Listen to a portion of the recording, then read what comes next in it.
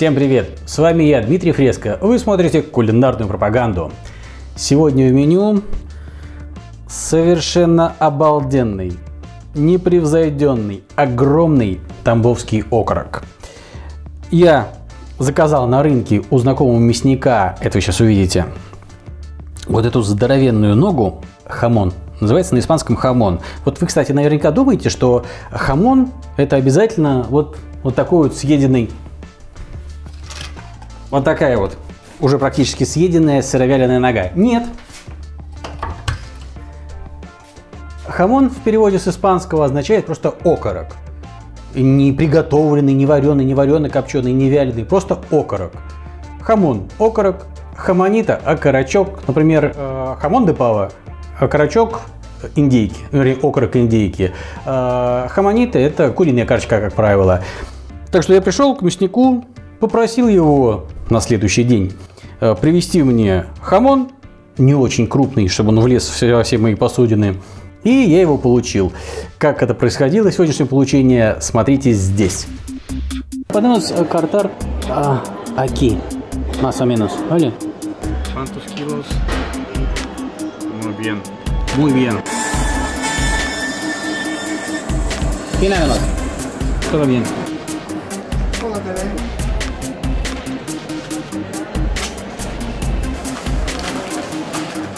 María, cuidado.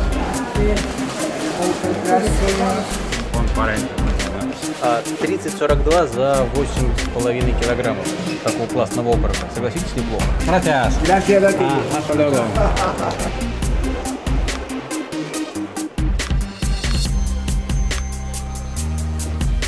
Рыночек у нас вот в таких местах. Старая церковь, машинка и вот рынок муниципальный. Вот так все происходило. А, Как вы видели, получилось за 8,5 килограммов вот замечательной э, свеженькой ноги великолепного качества э, 30 с небольшим евро. А По нашим местным меркам это совсем недорого. Тем более, посмотрите, я просил у него не жирный, потому что зачастую с большим слоем сала бывает здесь э, свинина. Это просто прекраснейшая нога. Слой сала тоненький. Я вот эту вот шкурку, вот эту часть, наверное, даже и срезать не буду, потому что она тоненькая и вот будет классно. Так, что касается э, окорока, техники приготовления. Значит, важные моменты. Мясо получается с... э, Ну, окорок готовится как ветчина, да? Так вот, э, мясо получается с более ярким, более выраженным вкусом ветчинности, если оно готовится с костью. Но в этом вся сложность. Кость очень плохо просаливается сама по себе, а если она плохо просаливается, то во время приготовления э, она может подгнивать, там могут начинаться процессы газообразования внутри кости, трубчатой кости, она может вообще взрываться, как граната. Поэтому очень важно правильно разделать. У меня окорок разделать. У меня нет такого опыта. Это второй ему окорок, который я в жизни начинаю разделывать. Э, Поэтому я очень много изучал всякую литературу, в том числе и Рогова, справочник технолога, пересмотрел целую уйму роликов на ютубе, где профессиональные мясники все разделывают. Э, Хочется надеяться, что я хоть немного чему-то научился, поэтому сейчас приступлю. Важные моменты. А, Как вы видите, вот эта часть ноги, по сути, вот, э- вот этот кусок – это рулька. Так вот, вот эту часть ноги я попросил распилить сразу непосредственно мясником, для того, чтобы вскрыть трубчатую кость. Таким образом, у меня с этой стороны трубчатая кость открыта, соль будет попадать э, в кость, и, я надеюсь, нормально просолится. Вот эту часть тоже нужно срезать. Хватит болтать, давайте уже приступать э, к аккуратной, насколько у меня получится, аккуратной разделке. Собственно, нужно вырезать вот эту кость, торчащую здесь, в первую очередь. Это, наверное, кусок, судя по всему, тазовой кости. Не знаю, я не силен в свинской анатомии. Ее нужно аккуратно вырезать, желательно не раздербанив весь окорок.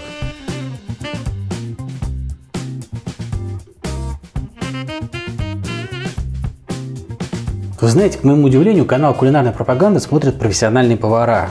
И даже шеф-повара многие. И вот идею приготовить именно тамбовский окорок подал мне как раз-таки такой профессиональный повар. Мой подписчик Александр Крылов. Спасибо ему за это большое. я очень долго вообще не решался приступить к этому процессу. Потому что вареные, варено-копченые карака долго не лежат. Это не сыровяльные продукты, и с их съедать надо быстро. Ну, у меня тут скоро гости, и я надеюсь, они мне помогут справиться с этой непростой задачей. Что-то сегодня недостаточно хорошо побрили эту свинку. Ну ничего, мы это дело справимся и так. Всего-то для хорошего, удобного бритья нужен острый нож. Угадайте, какой? Самура. Черный взял, чтобы лучше было видно, как он бреет. Бритва. Прямо-таки бритва.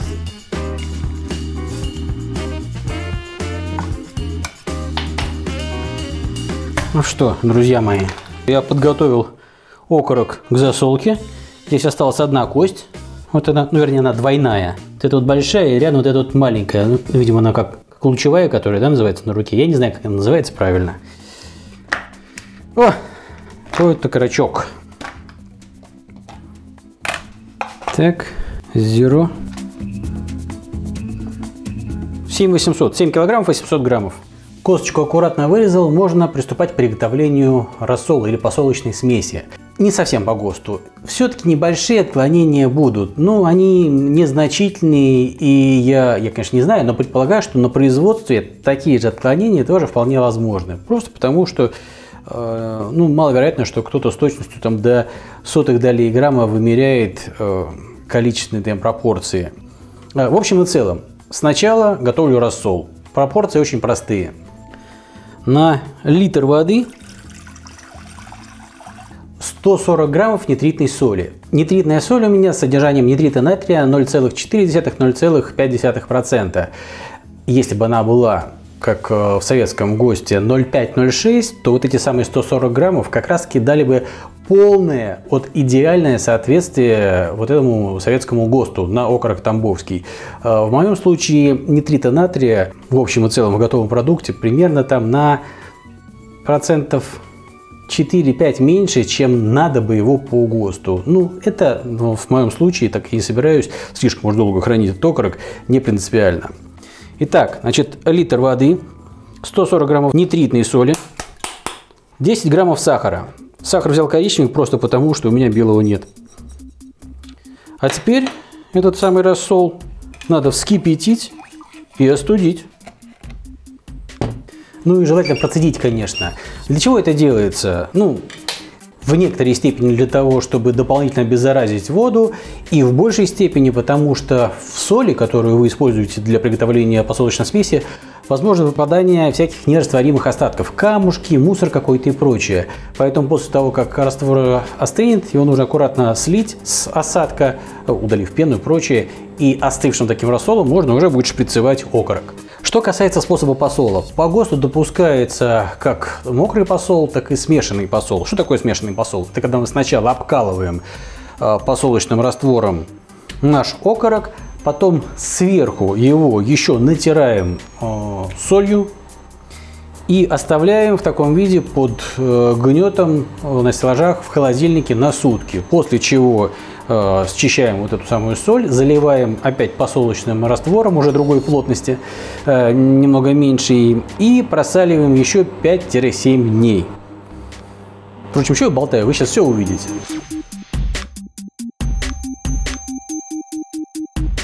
Продолжение бразильского балета. Рассол остыл. Сейчас температура его порядка 12 градусов, наверное. Начинаем процесс обкалывания. Я для этого воспользуюсь вот таким вот здоровым шприцом. Просто потому, что это быстрее. Э, в первый раз я обкалывал, когда в первый раз я засаливал такие вещи, э, обычным медицинским шприцом. На 20 кубов взял и все. Что касается прокалывания. Очень важно, естественно, сделать это равномерно по всему объему, но при этом очень тонкий момент.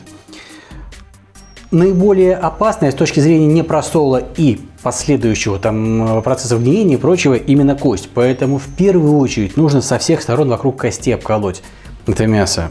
Поэтому учитывайте это. И вот таким путем и с этой стороны, и с этой стороны вкалываю все вокруг костей.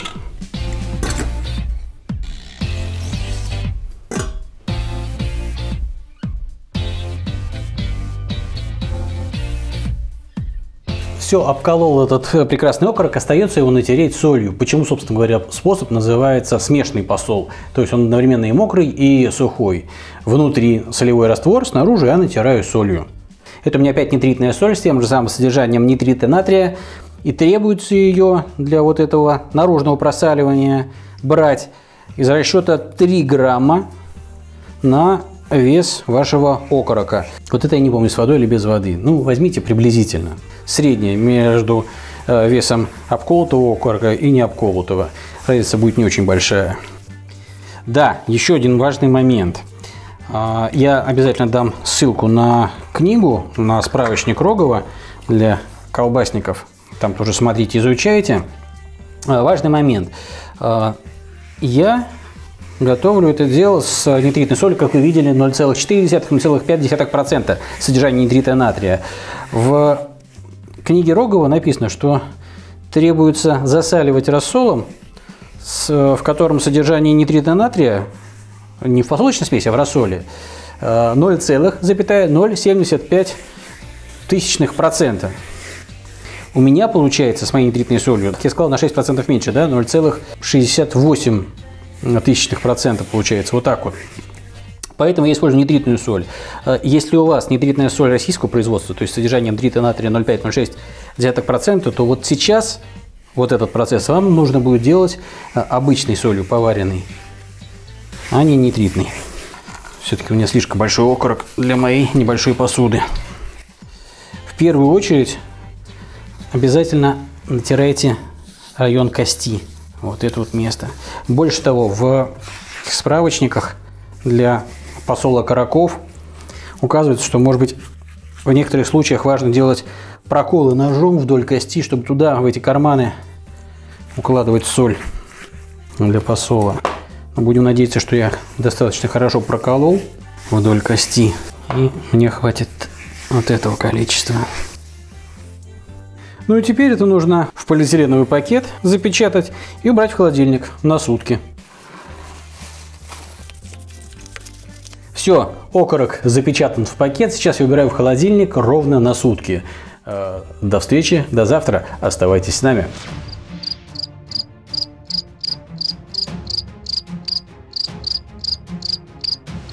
Для вас все очень быстро, для меня все эти действия, которые вы только что видели, были вчера. Так, продолжаем разговор у меня окорок просолился на первом этапе, и сейчас э, задача обмыть его хорошенько от этой соли и заложить во второй посолочный рассол. Прошу обратить внимание, во втором посолочном рассоле концентрация соли ниже, чем во вчерашнем для впрыскивания. Я его сейчас готовлю. Для этого я закипячу воду и растворю в ней нитритную соль и поваренную соль. А, сегодня я использую и ту, и другую, опять же для того, чтобы понизить концентрат э, нитрита натрия. Посолочного рассола для заливки, для второго этапа посола, э, по ГОСТу нужно брать в 40-50% от э, веса исходного сырья, то есть от веса окорока. Ну, вот у меня же здесь уже закипает, так что давайте я высыплю соль.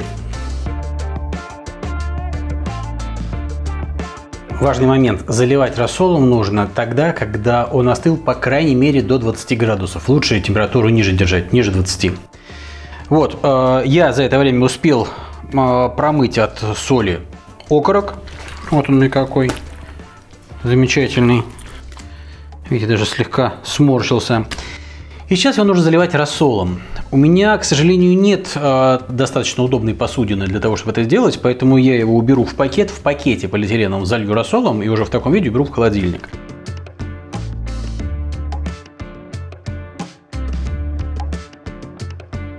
Все, в таком виде убираю в холодильник. Просаливаться э, на втором этапе э, мокрым способом он должен 5-7 дней при температуре 0 плюс 4 плюс 5. Как-то так. До встречи с вами через недельку.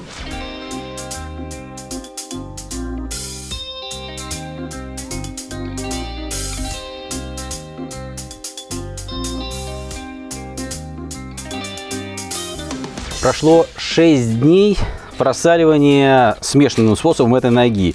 И сейчас наступает следующий этап. Согласно технологической карте, эту ногу нужно вытащить из рассола и дать отвеситься при температуре 0 плюс 5 градусов в течение 2-5 суток. То есть это время требуется на дополнительное дозревание э, ноги и на некоторую потерю влаги. После чего, но я об этом скажу позже, можно готовить по этому ГОСТу либо вареную ветчину, либо варено-копченую. Я склоняюсь все-таки варено-копченый. Ну, для начала нужно распечатать эту ногу. Смотрите, пакет у меня прохудился за эти дни, пока я ворочил ее во все стороны. И поэтому часть рассола вылилась из этих пакетов. Так, ну где у меня здесь нога? Вот моя нога.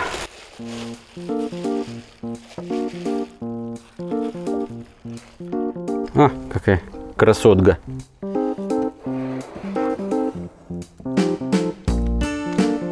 А, смотрите, какая она розовенькая. Так. По запаху такой легкий запах а, соленого мяса. Я Вывешивать буду в холодильнике в своем, который я вам показывал уже в предыдущем, в давнем ролике. Вот здесь про э, камеру для сыровяла. Сейчас в ней э, сыровялилось мясо, я его вытащил оттуда, промыл тщательно от всякой возможной плесени и включил просто как холодильник. До температуры там плюс 5, что было. Вот в нем собираюсь повесить. Ну, просто обвязать, наверное, не выйдет, потому что я же эту э, кусок кости-то срезал, поэтому нужно пробить, наверное, насквозь, вот так вот, и пропустить веревку пробить. Понадобится, наверное, какой-то другой нож.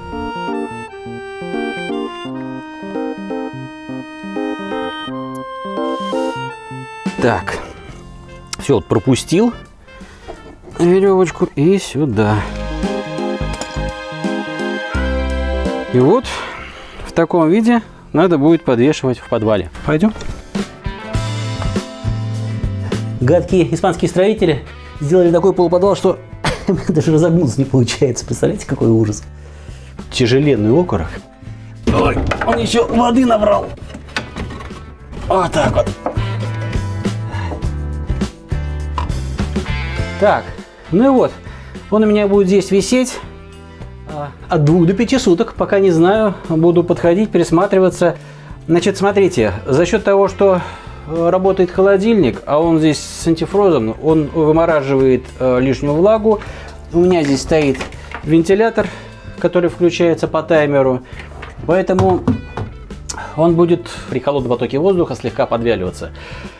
И по истечении 2-5 суток, я буду просто рассмотреть, что с ним происходит по внешнему виду, я перейду к следующему этапу.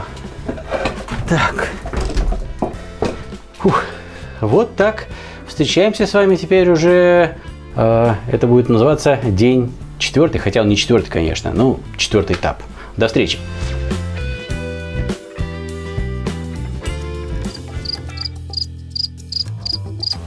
Продолжаем разговор. Следующий этап. Окорок у меня провисел в холодильнике при температуре 4-5 градусов Цельсия в общей сложности 4 дня. Согласно одной умной книжке, справочник технолога колбасного производства под редакцией Рогова, этот окорок сейчас нужно обмыть, и хорошенько отскоблить шкуру. Правда, не совсем понятно, что можно счистить с такой уже чистой шкуры, но предполагаю, что если она изначально не очень хорошо очищена, то вот после недели вымачивания в рассоле и 4 дней в холодильнике с ножом с нее можно разно скоблить. Вот так. Ну и теперь нужно ее оставить на так называемое стекание на 2-3 часа. Это чтобы в коктейльную камеру не тащить воду. Поэтому я даже сначала салфеткой влажными оботру. Со всех сторон.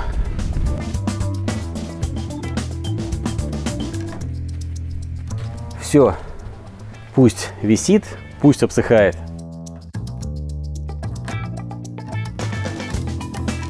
Следующий этап. Я вот сейчас подумал, это у меня проходит э, между этапами по несколько часов, а то и по несколько дней. А для вас-то все сразу происходит. Наверняка уже думаете, нифига себе заморочился. Я и сам уже так думаю, честно. Но интересно знать, что в результате я получу из этого окорока. Но уж больно хочется опробовать технологию. Коптить надо, согласно все того же самого справочника, при температуре дыма от 50 до 100 градусов. Я уже и угли запалил. Так. Выложу их такой угольной змеей. Это специальная технология для э, такого типа грилей э, придумана. Э, уголь запаляется с одной стороны вот этой самой змеи, огонь медленно ползет по углям, поэтому горят не сразу все угли высыпанные в коптильню или в гриль, а небольшое их количество. Поэтому температура э, не слишком высоко поднимается. Вот у меня они разогретые. Ну и э, сюда выложу щепу. У меня пекан. Это орех такой, похожий на грецкий. Ну вот этого, наверное, будет достаточно, я думаю. Теперь собираю коптильню. Это сюда. Чаша для отсекания жара от э, приготавливаемого продукта сюда. Сюда я установлю конструкцию для подвешивания. И вот так. Приклеилась доска разделочная.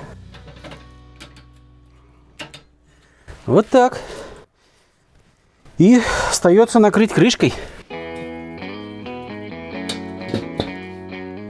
Этим регулировочным, так сказать, отверстием я регулирую количество дыма, и процесс пошел. Что касается времени копчения, а, конечно, при таком небольшом сроке, ну час-два, а, мясо не прокоптится хоть на сколько-нибудь значимую глубину в толщину этого самого куска.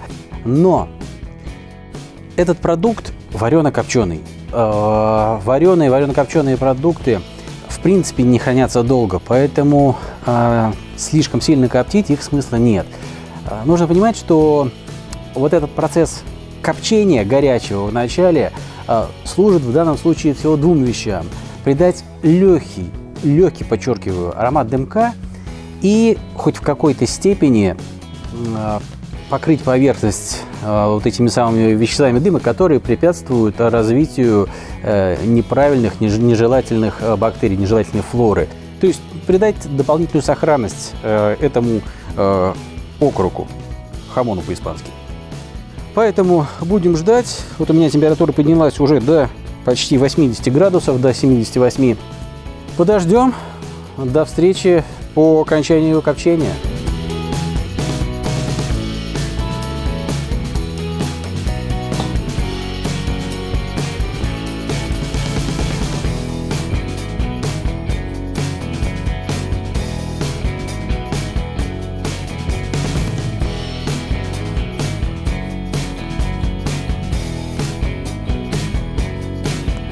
Какая картинка получилась симпатичный. Мне уже нравится. Но это еще не все. Теперь его нужно сварить в воде при температуре 80 градусов до достижения температуры внутри окорока 70 а, плюс-минус 1 градус, то есть 69-71. Вернее, не совсем так. Согласно все того же Роговцева, этот окорок можно заложить в воду температурой 95-98 градусов. Она остынет до 80 и потом уже при 80 варить. У меня такой здоровенной кастрюли нет, зато есть вот такая вот поликарбонатная гастроемкость, объем 23, наверное, литра или 22, и насос для сувида. Так что отправлю сюда окорок, чтобы не расплескать все аккуратненько. И надо настроить насос. Температуру сразу выставлю на 80 градусов, чтобы не морочить себе голову настройкой. Вот, целевая 80. Все. Старт. Так, еще накрою крышкой для уменьшения теплопотерь и оставлю вариться часов на 5. А, часов через 5, я думаю, раньше суетиться даже не стоит, я вгоню щуп термометра в ногу для контроля температуры внутри. Еще момент. Есть у меня, конечно, опасение, что вот этот насос для сувида, выделяющимся из ноги соком, бульоном, будет пачкаться, загрязняться, а, но заматывать ногу в пленку для того, чтобы предотвратить это загрязнение, я не хочу, потому что по технологии ноги варятся без всякой пленки. Это в немаловажной степени влияет на то, что излишнее количество дыма, дымных запахов, которые мы получили при таком интенсивном э, копчении, большое количество дыма, высокая температура, будет вымываться. И конечный аромат продукта по дыму будет мягче, тоньше. Ну, посмотрим, что произойдет. До встречи с вами через... Да не через уже, наверное, а тогда, когда буду вытаскивать этот окорок э, уже полностью сваренный при температуре 80. Оставайтесь с нами. Время Че. Термообработка закончена. Все мои тут термометры пищат. Настроенные. Так. Ой холодно уже, ужас. Вот так вот. Вот он какой. И этот окорок надо срочно охладить. А делается это душеванием. Пойду в ночь к Оливе. Черт, не свалиться бы. Так. А Охлаждать надо душеванием. Сначала э, водой температурой 30-40 градусов, э, а потом 10-12 градусов. У меня, правда, 30-40 градусов нет, поэтому сразу холодненькой.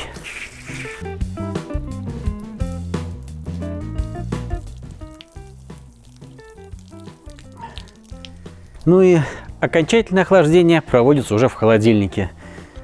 Ну, конечно, надо оттереть от воды. Холодильник у меня в подвале ночью я это уже вам не сниму, поэтому встретимся с вами тогда, когда буду разрезать этот замечательный окорок и пробовать. Оставайтесь с нами и спокойной ночи.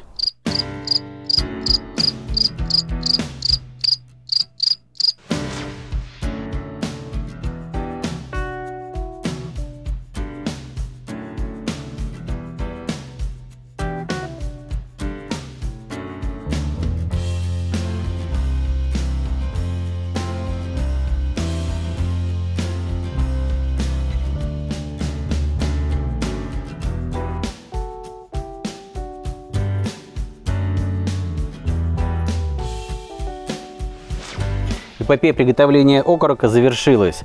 Он у меня провисел в холодильнике в общей сложности почти двое суток, ну, полтора. То есть я его закончил э, позавчера вечером, позавчера ночью готовить, повесил в холодильник. Э, вчера не было времени на разрезание, и вот сегодня готов разрезать. Очень интересный эффект. Обратите внимание, он стал очень темным. Э, как вы видели только что, сразу после э, вытаскивания из коптильни он был светленьким. После того, как я его отварил, он неожиданно потемнел, а вот уже после того, как он повисел в холодильнике еще дополнительно, он вообще стал почти черным. Удивительно. Так, ну и какой мне кусок? Ну вот, наверное, вот так вот я сейчас отрежу. Спонсорским ножом. Самура и карбон.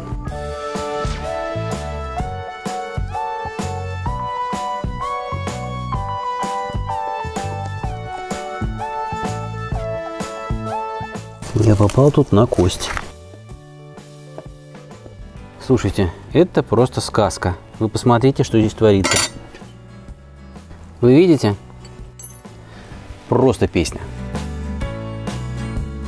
Сочный, влажный. Он прям таки стекает соком. Так, ну и вот этот вот замечательный шмат я здесь сейчас отчекрыжу на пробу. А вы на это пока полюбуйтесь. Смотрите. Просто сказка.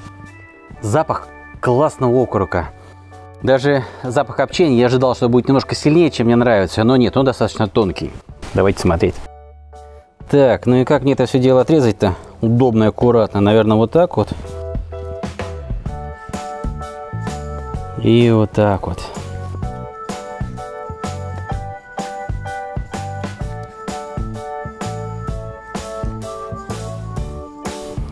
А, какая красота! Ну и надо же попробовать, сообщить вам свое мнение. Это очень вкусная, это очень сочная, это очень классная ветчина.